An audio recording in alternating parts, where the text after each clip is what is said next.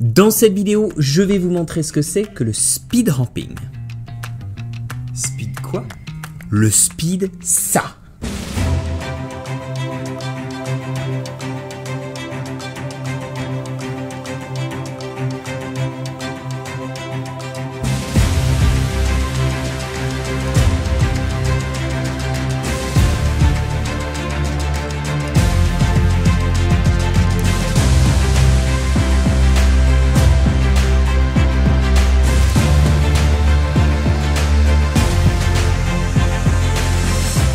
Le speed ramping est une technique de montage vidéo souvent utilisée pour mettre l'accent sur un moment en particulier en modifiant la vitesse d'un clip ou d'une portion de clip vidéo.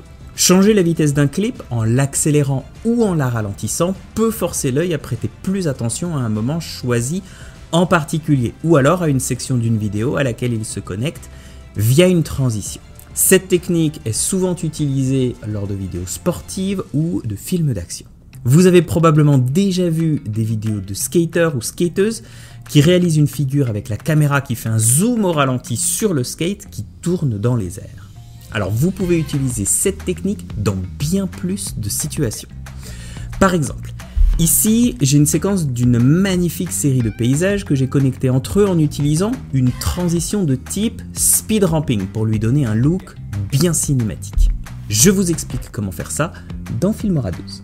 Alors, dans un premier temps, on va choisir les vidéos que l'on va importer dans notre bibliothèque média. On va glisser le premier clip dans la timeline et on se rend dans ses paramètres à droite, section vitesse, modulation de la vitesse. On clique sur personnaliser et dans cette section, vous voyez un graphique contenant trois points de réglage sombre et deux demi-points de réglage clair aux extrémités. Alors on va glisser le troisième point sombre vers la droite en haut et le configurer jusqu'à la vitesse x10. On configure le point du milieu sur une vitesse x9 vers la droite. Et le troisième point sombre de réglage, on va simplement le déplacer vers la droite, mais on va laisser sa vitesse sur normale. Alors l'idée ici, c'est de créer une accélération en douceur grâce à cette augmentation progressive de la courbe. N'oubliez pas que la vitesse d'accélération est dépendante de la longueur du clip original. Ici, notre clip original dure 8 secondes au total et plus que 4 secondes une fois la transformation effectuée. Maintenant, on va déplacer la tête de lecture directement depuis le graphique jusqu'à ce qu'il se trouve une image avant le troisième point, à peu près. De là, on va déplacer le second clip au niveau de la tête de lecture dans la piste 2 on se rend dans la section vitesse, modulation de la vitesse personnalisée. Et là, on va déplacer le demi-point de réglage clair le plus à gauche tout en haut sur la vitesse x10. Le point de réglage sombre le plus à gauche, on le configure tout en haut à gauche également sur la vitesse x10. Et le point de réglage sombre du milieu, on le monte également à gauche mais à vitesse x9.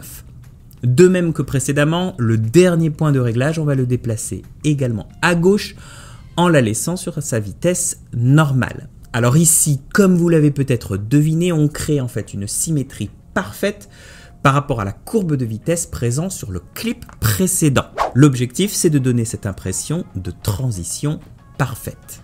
Coupez ensuite le second clip. Alors le fait de couper ce clip à ce moment-là permet deux choses. Premièrement, de garder la première partie avec la vitesse intacte. Et deuxièmement, de réinitialiser la vitesse de la seconde partie sur laquelle on va du coup pouvoir travailler pour créer la deuxième transition. Donc là, on va placer la tête de lecture vers la fin et on va rajouter les trois points de réglage manuellement. Alors vous l'avez deviné, on va recréer la courbe de l'accélération progressive de notre premier clip, le point le plus à gauche sur la vitesse x10, le second sur vitesse x9 et le dernier qu'on laisse sur vitesse normale. Même chose avec la tête de lecture, juste avant le point le plus à gauche, on dépose notre dernier clip donc dans la piste 3 et on travaille la dernière transition symétrique.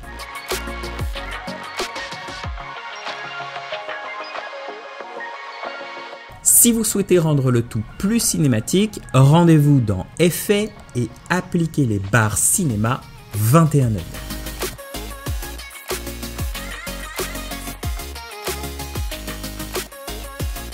Et voilà, vous savez maintenant comment donner un ton dramatique à votre vidéo en créant des transitions qui utilisent la fonction speed ramping de Filmora 12.